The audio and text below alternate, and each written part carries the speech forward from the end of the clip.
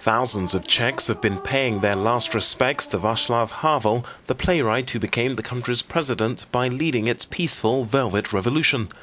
A day after the 75 year old's death from a respiratory illness, mourners fled past his closed coffin at the cultural center he founded in a former church in Prague.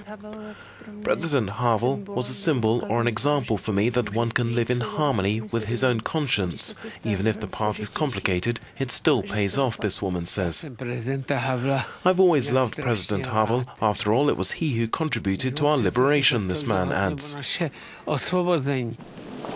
From Wednesday, Havel's body will lie in state at Prague Castle whose medieval austerity he sought to enliven while head of state by inviting performers and fellow artists. Leaders from around the world are expected to attend his funeral, which will take place on Friday at Prague Castle.